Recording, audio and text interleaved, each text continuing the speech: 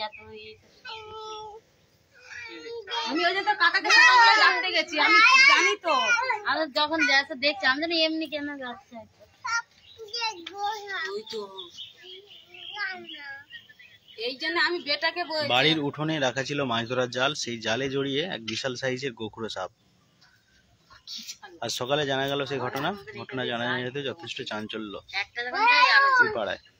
নমস্কার, স্থানীয় সংবাদ ডিজিটাল মিডিয়ায় আমি বাবলু রয়েছি এই মুহূর্তে আপনাদের সঙ্গে। সরাসরি দাসপুর দুই ব্লকের পাঁচগেছিয়া গ্রাম থেকে রয়েছি। পাঁচগেছিয়া গ্রামের তরণে দাসের বাড়িতে। বাড়ির ঠিক উঠানে মাছ ধরার একটি গাঁতি জাল রাখা ছিল সেই জালে।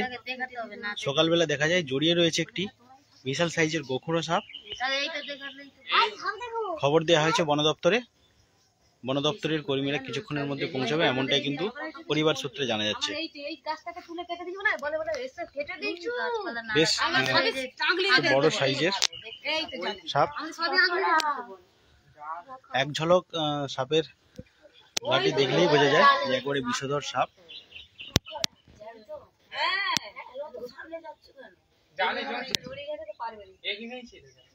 জালটা এখানে আমার বেটা সেই মাই ধরে এখানেই ফেলে মানে ওই ধার দিয়ে যাচ্ছিল জড়ি গেছে এবার একটু জড়ি গেছে না।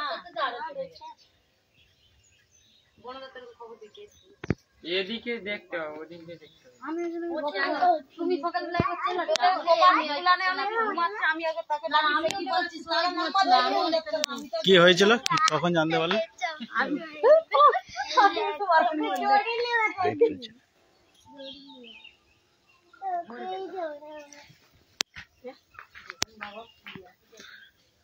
বাড়ির বাড়ির সদস্যদের কাছ থেকে একটু জানার চেষ্টা করব। কখন জানতে হ্যাঁ, আমি এই সকালবেলা উঠে ভোরবেলা আছে ওইখানে আমাদের ডেরাম আছে জলের জলের ডেরাম আনতে এসে দেখি না এরকম জালে জড়িয়ে আছে। তারপরে এবার দেখলাম আমি ভালো করে দেখলাম যে হয়তো ঢ্যামনাটা করতে পারে। প্রথমে দেখলাম তারপরে ভালো করে দেখার পর আমি একটা লাঠি দিয়ে খুঁজছি আর কি দেখছি। বলি দেখি কি? তারপর দেখি না একটু লড়ছে আর ফোনাটা তুলছে। এবার সন্দেহ হয়েছে যে তাইলে এই সব ঢ্যামনা সাপ নয় জাত সাপ হতে পারে।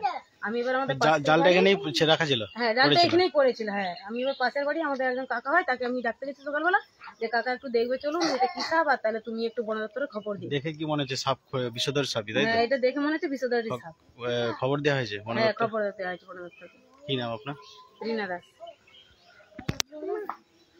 তো দেখতেই পাচ্ছেন এই মুহূর্তে দাসপুর দুই ব্লকের পাঁচগেছিয়া গ্রামে তরণী দাসের বাড়িতে মাছ ধরার জালে জড়িয়ে এক বিশাল সাইজের বিষধর সাপ খবর দেওয়া হয়েছে বন দপ্তরে বন দপ্তরের কর্মীরা উদ্ধারে আসছে, এমনটাই কিন্তু খবর।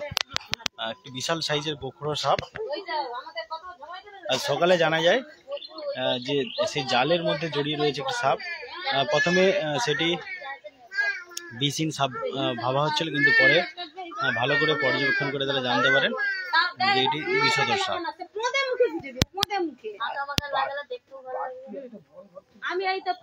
আষ্টে পৃষ্ঠে জড়িয়ে রয়েছে সাপটি হ্যাঁ।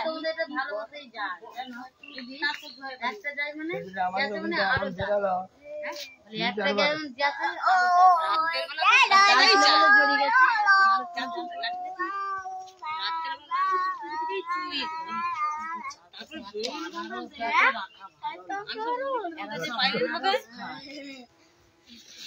ঘুরে ফোনা তুলবে দেখে।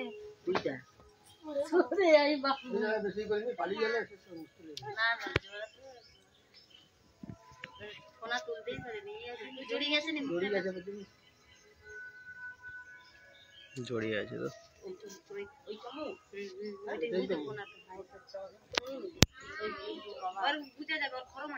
ওই তো মাথাটা আমি দেখেই বুঝে গেছি আর ওই তো সাদা হয়ে কেটে পালিয়ে যেতে পারে দেখেই বুঝতে পারছি না, না। হ্যাঁ? হ্যাঁ। আমি তো প্রথমে দেখেই মুখটা কিন্তু কেটে পালিয়ে যেতে পারে। না কালো পুরো বডি জোড়ানো এই তো পেটে পুরো বাবা বলছে যখন উদ্ধার করবে তখন। বড়ই ভালো তুললে তুললে তবে। হ্যাঁ হ্যাঁ যখন সে তুলবে ধরে রাখবে তখন তুললে। আর পেটের কাছে বিশাল জড়িয়ে গেছে। ওই জন্য মানে যাচ্ছিল জড়িয়ে গেছে আর আরও জড়িয়ে যাচ্ছে। ছোটু বলছে মায়ের মন্দির। সে ছোটু হরেন দিচ্ছি ও দু ডবল মোটা আর ওরকম সাদা চকচক করছে। দুপুরবেলা বেরালো আবার ছোট বৌমরা বাজার গেছে দেখছি আবার আমি রাতে এসেছি দেখি। শুধু ঘরে হয়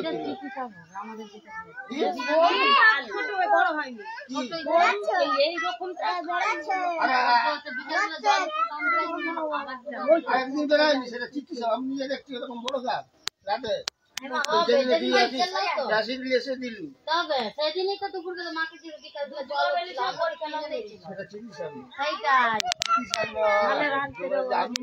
বেলা বিকাল যখন বেড়াই